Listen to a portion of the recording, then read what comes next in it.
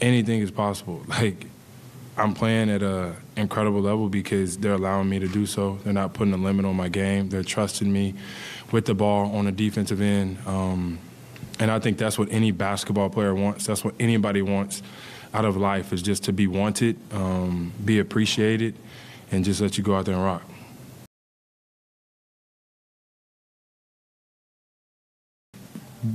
One of the, the premier, if not the premier, two-way basketball players on this uh, in this association. Um, that's what we needed. We needed, you know, him to, to make some plays defensively.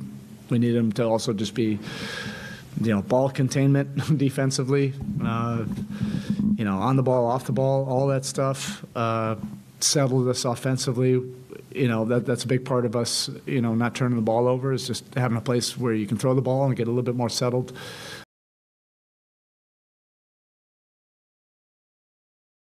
It's fun. Who's that?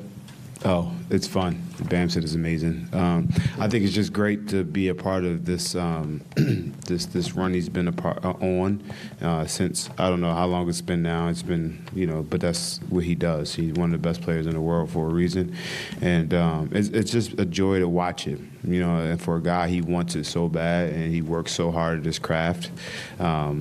It's important to you know enjoy success, and you know he gives us all the, the confidence to be you know successful and be aggressive and assertive, and that's what makes him special. And that he's not about all about him; it's about our group and our team and everyone else.